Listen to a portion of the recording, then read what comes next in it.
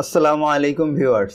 আশা করি সকলে বেশ ভালোই আছেন। তো আজকে আমাদের যে টিউটোরিয়াল সেটা হচ্ছে মাইক্রোসফট এক্সেলের হাতে খড়ি পর্বের পার্ট টেন এবং আজকে আমরা কথা বলব ইনসার্ট ডিলেট এবং অল অ্যাবাউট ক্লিয়ার নিয়ে। আমাদের বিভিন্ন সময় বিভিন্ন কাজে ইনসার্ট ডিলেট এবং ক্লিয়ারের প্রয়োজন হয়ে থাকে। বিভিন্নভাবে বিভিন্ন রকম ইনসার্ট ডিলেট এবং ক্লিয়ারের ইউজ রয়েছে। তো সেইগুলো আজকে আমরা দেখে নিব। তো অবশ্যই ভিডিওটি শেষ পর্যন্ত দেখবেন, আপনার বন্ধুদেরকে রিকমেন্ড করবেন এবং আপনি যদি আমার চ্যানেলে নতুন হয়ে তাহলে অবশ্যই সাবস্ক্রাইব করবেন, পাশে থাকা বেল আইকনটি ক্লিক করবেন এবং ফেসবুকে এই গ্রুপে কানেক্ট হবেন, এই ওয়েবসাইট ভিজিট করবেন। তো চলুন শুরু করা যাক। তো দেখেন, আমি এখানে একটি ফরম্যাট তৈরি করে নিয়েছি। এইগুলা দিয়ে আমি মোটামুটি ইনসার্ট ডিলিট ক্লিয়ারের ব্যাপারগুলো দেখাতে পারব। এখানে যে জিনিসগুলো লেখা আছে আপনারা পড়ে নেবেন, আমি আর বলছি না। তো আমাদেরকে ইনসার্ট ডিলেট দেখেন এই যে হোম মেনুর আন্ডারে এখানে ইনসার্ট আছে, এখানে ডিলেট আছে, এখানে ক্লিয়ার আছে। তো এই জায়গা থেকে আমরা চাইলে দেখতে পারি ইনসার্ট এখানে বিভিন্ন insert sheet row insert sheet column delete sheet row delete sheet column আমরা এখান থেকে না দেখে আমরা মাউস দিয়ে কাজগুলা করে দেখব।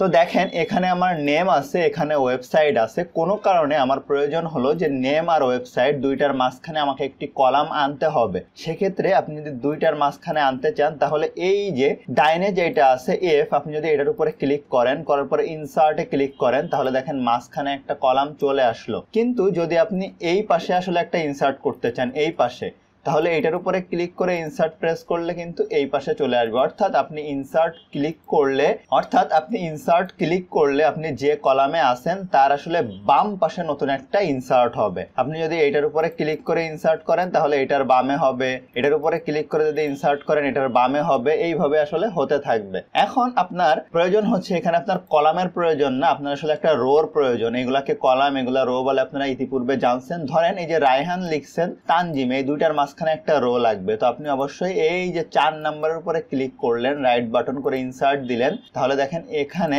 একটা এক্সট্রা রো হয়ে গেল। তাহলে রোর ক্ষেত্রে যেটা হয়, আপনি যে রো এর উপরে ক্লিক করে ইনসার্ট চাপবেন তার উপরে আসলে রো একটা ইনসার্ট হবে। এখন যদি আমি সামারি বলি, তাহলে হচ্ছে যে যখন আপনি কোনো কলাম অ্যাড করবেন, তখন যে কলামের উপরে ক্লিক করে ইনসার্ট প্রেস করবেন, তার বাম পাশে আসলে অ্যাড হবে। আর যখন আপনি রো অ্যাড করবেন, যে রো এর উপরে ক্লিক করে ইনসার্ট অ্যাড করবেন তার উপরে আসলে নতুন একটি রো অ্যাড হবে। তো আশা করি আপনারা ব্যাপারটা বুঝতে পারছেন। তো এই ছিল আমাদের ইনসার্ট নিয়ে কথা, মোটামুটি এইটুকু জানলেই হবে। এরপরে হচ্ছে ডিলেট তো ডিলেটের ক্ষেত্রে দেখেন, আপনি যদি চান যে এই যে কলামটা আছে, এই টোটাল কলামটা আপনি ডিলেট করে দিতে চান, তাহলে কি করতে হবে? রাইট বাটন ক্লিক করতে হবে। এই যে ডিলেট দিলে আপনার এটা টোটালটা ডিলেট হয়ে গেল। আমি কন্ট্রোল জেড প্রেস করে আগের অবস্থানে চলে আসলাম। সেম ভাবে আপনি যদি চান, এই রোটা আপনার লাগতেছে না, এটার উপরে রাইট বাটন ক্লিক করে যদি ডিলেট করে দেন, তাহলে দেখেন ওইটাও চলে গেল। তো ডিলেটের ব্যাপার হচ্ছে যে আপনি যে কলামটা অথবা যে রোটা ডিলেট করতে চান, সেটার উপরে ক্লিক করতে হবে এখান থেকে, এই যে উপর থেকে হ্যাঁ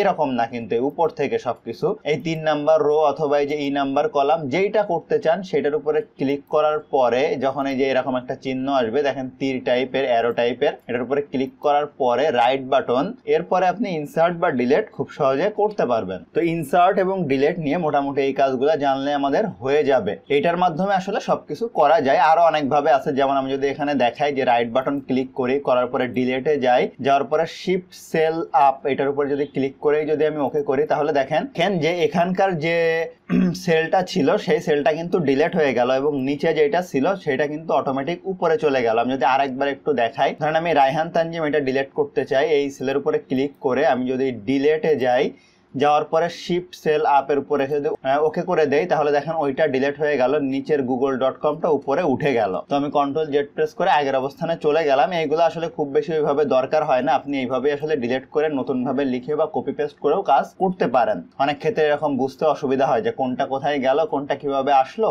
এই জন্য সবসময় ডিরেক্ট ডিলেট করে আপনি কাজটা করতে পারেন। এরপরে আমরা ক্লিয়ার নিয়ে কথা বলব। এটা মোস্ট ইম্পর্টেন্ট একটা জিনিস যে আসলে ক্লিয়ার কি জিনিস বা ক্লিয়ার ক্লিয়ার হচ্ছে যে আপনি যা কিছু লিখেছেন, সেটা আসলে মুছে ফেলা। তো মুছে ফেলার অনেকগুলা পদ্ধতি আছে। আপনি যদি এটার উপরে ক্লিক করেন clear all clear format clear content clear comment clear hyperlink format আসলে কি জিনিস? আপনি এই যে ফরম্যাটটা তৈরি করে রাখছেন, এটার উপরে যদি আপনি সবগুলা সিলেক্ট করে আপনি যদি এখানে ক্লিয়ার ফরম্যাট দেন, তাহলে যে সুন্দরভাবে আমি ফরম্যাটটা তৈরি করছিলাম, এটা কিন্তু ক্লিয়ার হয়ে গেল।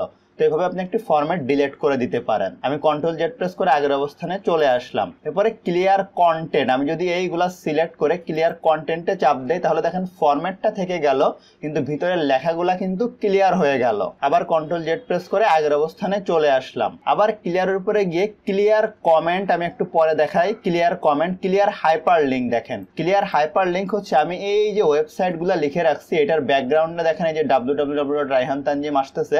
তো এই যে হাইপার লিঙ্ক বলে এটা আমরা সামনের দিন হাইপার লিঙ্ক নিয়ে কথা বলব।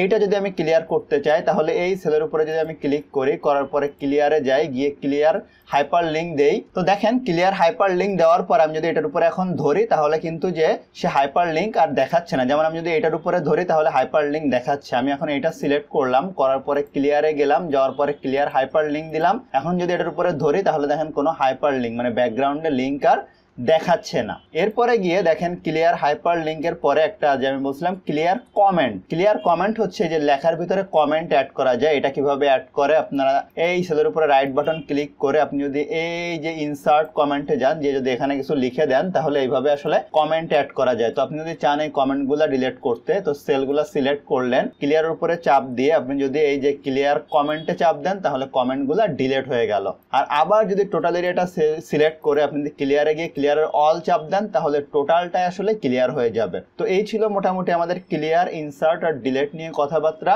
আশা করি ব্যাপারগুলো আপনারা বুঝতে পারছেন। তো ভিডিওটি ভালো লাগলে অবশ্যই লাইক করবেন, কেমন লাগল কমেন্ট করবেন, আর অবশ্যই আপনার বন্ধুদের সাথে শেয়ার করবেন, কেননা তারাও যেন এক্সেলে দিনে দিনে এক্সপার্ট হয়ে ওঠে।